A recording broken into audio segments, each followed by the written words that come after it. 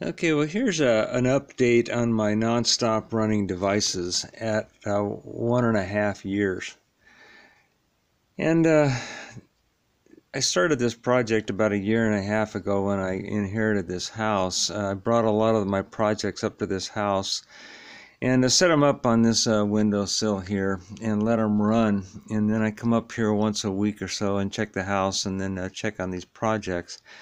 And um, these are some of these things that I've done in the past. You can look in my video files and see uh, all the information on them, on all these different little projects here. And uh, this is the one right here that anyone who's interested in perpetual motion machines um, ought to take a hard look at. Uh, this is Lasersaber's Easy Spin motor. It was 3D printed.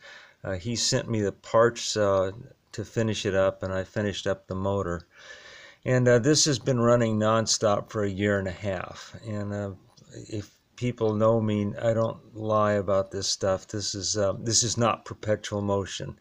Um, it's gaining its energy from a um, about a 9 volt uh, solar panel uh, with indirect sunlight in the morning and then it runs through the day and then all through the night and the uh, power storage device is a pair of um, 2.7 volt 6 farad supercapacitors. And that's what's getting the job done. Uh, the circuit is that circuit right there which you've seen many many times before. On his motors he just uses a reed switch but um, my reed switches had a tendency to stick so I went to that electronic circuit right there. Um, this is another one that's been pretty darn successful. It's running on a, a supercapacitor. Um, and then there's other ones along the windowsill here that are, are similar in, in design. Uh, this one here has a pair of alkaline batteries um, with that very low amperage draw motor that's been pretty successful. Now, of all the ones that I've put up here and, and shown running over the course of time, um, this is the only one that people ought to take a really hard look at.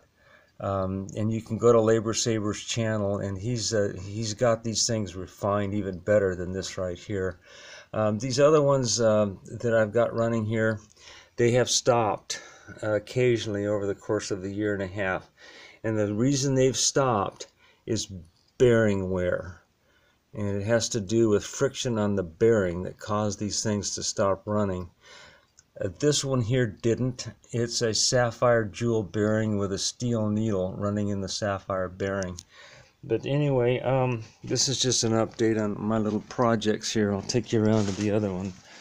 It's uh, the yearling motor, and uh, it was supposed to be running for a year and a half on a um, AAA battery. There's the AAA battery.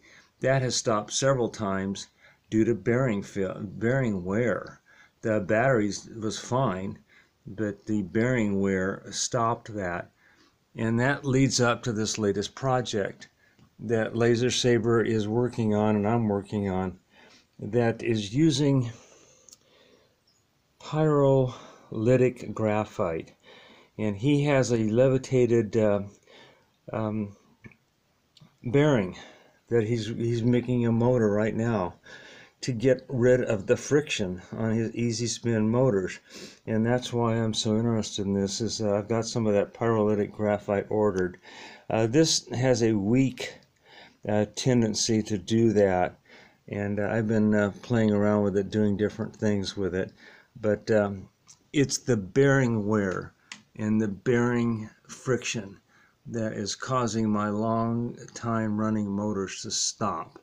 And that's why I am interested in uh, investigating uh, this um, pyrolytic graphite. Thanks for watching.